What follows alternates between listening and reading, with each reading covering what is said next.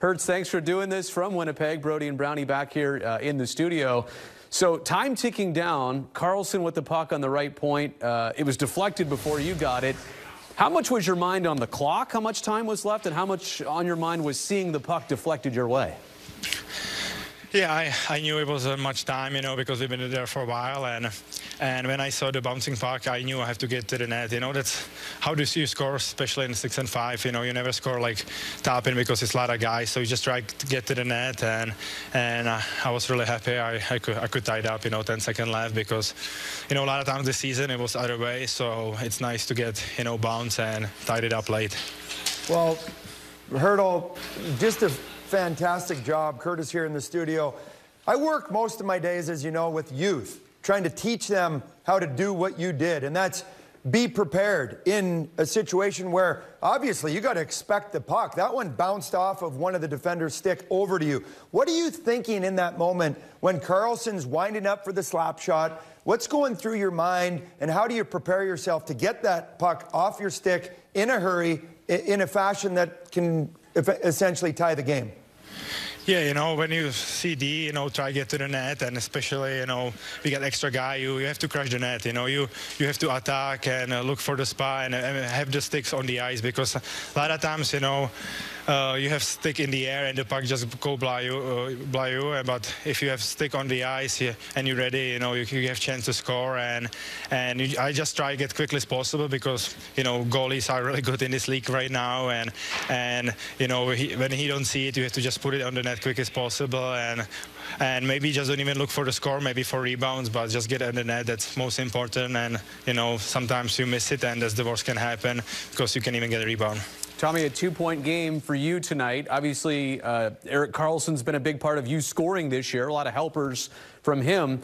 Uh, two-point night for him as well, too. Do you see him instinctively? Do you see him getting to 100 points this year? And if the answer is yes, what leads you to believe that he can do it down this final stretch?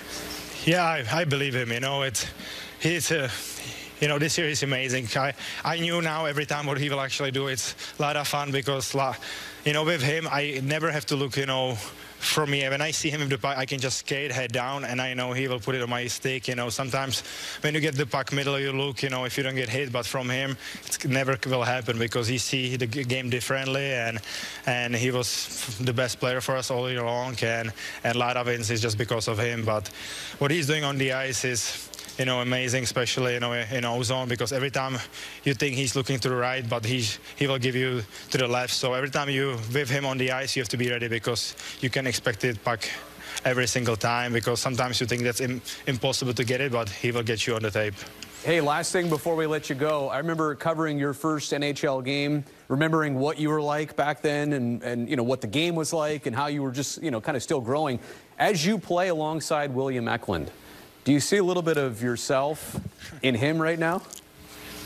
Yeah, you know, it's, you know, for him, uh, I think it wasn't easy too because last year I think he, he got this, you know, pretty good start. He, he got back to the Sweden and now work all year hard in AHL and I think he showed up really good last two games, you know, and, and, you know, I have to be still better to him, you know, like how, you know, you just say Pav, Jumbo, Pare, all these guys I grow up, you know, make me better NHL player and what I get here, I have to help, you know, him, you know, and we got, you know, Z now with me, two young guys, and I want to help them and, and help them make the game easier, help them out what to do and, and be there for them because that's how you do it, you know, when you get help when you're young, now you have to switch sides and be the guy to help young guys and grow up and make them better. I would say you could buy him a beer, but I still think that's a, a year away. Yeah, in, not in, in the States. Country, you can. maybe yeah, but we, we from Europe, so oh, that's from that's 18. Right. That's right, that's right. Hertz, thanks for doing this, buddy. Hey, congrats again on being a dad twice over. Appreciate this. Oh, thank you. Thank you, guys. I appreciate it. Busy times for the Hertl family, and obviously Tomas making the most of it.